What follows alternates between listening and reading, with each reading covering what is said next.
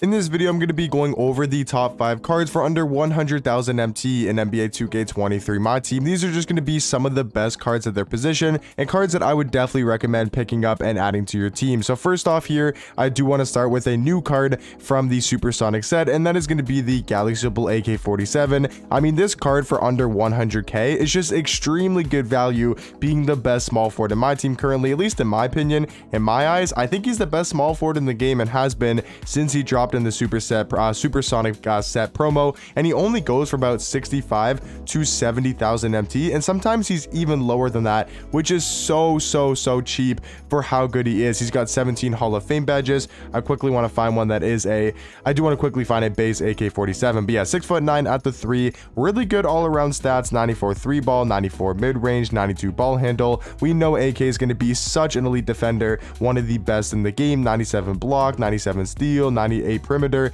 with a 94 interior defense, and then he's also pretty quick with 94 in the speed category. But the main thing about AK and the reason why he's so good and better than other small forwards is he's got one of the better jump shots in the game, and he also has some elite, elite, elite dribble sigs with the Trae Young escape and the Trae Young size up. So he moves like a guard, he plays elite defense, great jump shot. I mean, just all around, I think he's the best small forward in the game, and for that price tag is going to be extremely good value and a card that I think should be on everybody's lineups if you can afford him. But looking at the next card here, uh, number two for under 100,000 MT. This isn't ranked in order, just going to be the top five cards for under 100k. Is going to be this Galaxy Scottie Barnes. I think he's really, really nice at the point guard spot for about 80,000 MT. Sometimes you should be able to get him for a little bit cheaper, but I think all around is super nice at the point guard position. He's six foot eight, and we know Scottie's going to be an elite defender. I mean, if you take a look at his defensive stats 94 block, 96 steal, 95 perimeter, 93 interior defense.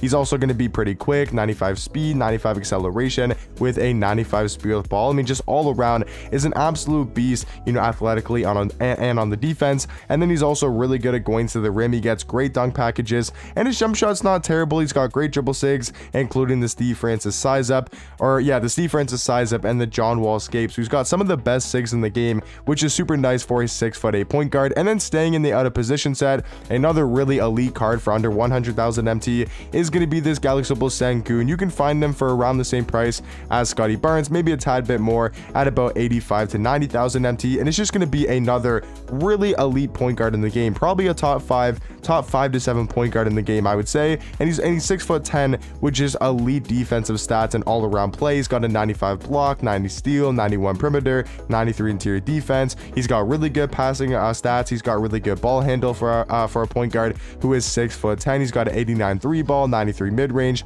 The way that I kind of look at Sengun is he's just Ben Simmons with a better jump shot, way better dribble sigs, and has a way higher three ball because they're both going to be six foot 10, six foot 11, very solid defenders. I mean, Ben might be a little bit quicker, you know, on the ball. He might be a little bit better defensively, but Sengun is pretty much uh, just another Ben Simmons type of point guard. Super overpowered, glitchy, you know, tall point guard in the game, but at least he has really good sig, so he can move a lot faster on the offensive end than Ben Simmons, and he's also got a higher three ball and a way better jump shot. So for me, I think Sengun is a top five card for under 100,000 MT. Now going back into the yeah, actually, no, going going to the season five set is going to be the Galaxy Opal Ricky Davis, the fourth best card, or not really ranked in order, but just the fourth guy, fourth guy I'll be talking about for under 100,000 MT. And just like AK-47 is one of the better value cards in the game, and same thing with Scottie and Sengun, they're really good value wise as well. But just Ricky Davis and AK are on a whole different level. Like Ricky's probably a top what four or five shooting guard in the game, and he only goes for about 90,000 MT,